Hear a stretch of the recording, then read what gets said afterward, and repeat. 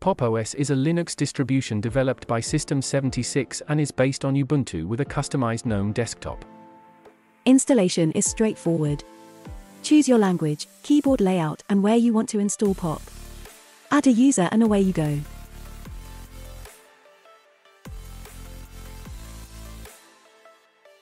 Post installation you can choose the panel layout and whether to use light or dark mode. You can also choose whether to sign into online accounts, use gestures, and set your time zone. The menu is easy to navigate and has a clean interface. You can add extra folders to improve your workflow. The Pop Shop enables you to install common packages and Flatpaks are enabled by default.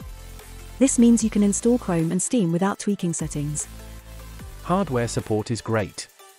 It is easy to set up tools such as printers. Workspaces allow you to further improve the way you work. Ratings for the everyday user are as follows 5 out of 5 for installation, 4 out of 5 for performance, 5 out of 5 for hardware, 3 out of 5 for default packages, 5 out of 5 for package installation, 5 out of 5 for ease of use, overall rating 27 out of 30. Pop! OS is definitely one of the best choices for new and inexperienced Linux users.